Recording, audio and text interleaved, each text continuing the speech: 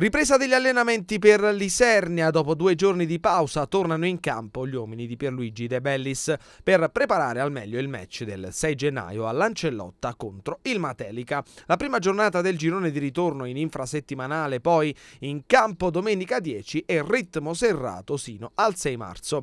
Dieci giornate da vivere senza pause, poi due soste a marzo, prima il 13 con il torneo di Carnevale di Viareggio e poi il 27 per le festività pasquali. Dunque mercoledì nel giorno dell'Epifania parte un nuovo campionato, diverse le squadre che hanno ingaggiato nuovi giocatori e hanno potuto lavorare al meglio in queste vacanze. Come sempre il girone di ritorno presenta maggiori difficoltà.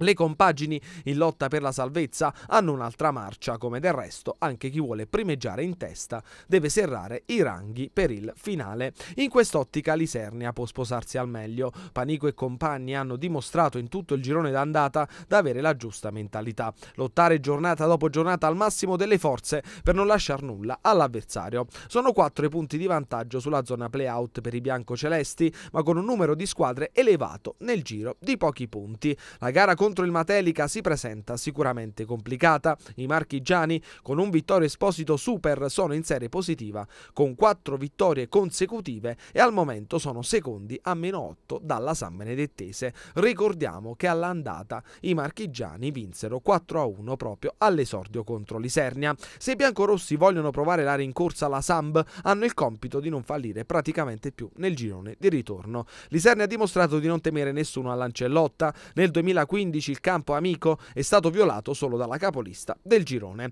Detto questo, Matelica a parte, il mese di gennaio sarà davvero fondamentale con le gare contro Vispesaro e Giulianova, prima di giocare a Fano il 24 e chiudere in trasferta contro la Folgore Veregra il 31. Insomma, 5 gare in questo mese per provare a chiudere o quasi in anticipo i giochi per la permanenza in Serie D. La squadra è pronta a lottare ancora per arrivare all'obiettivo e continuare a regalare emozioni ai tifosi.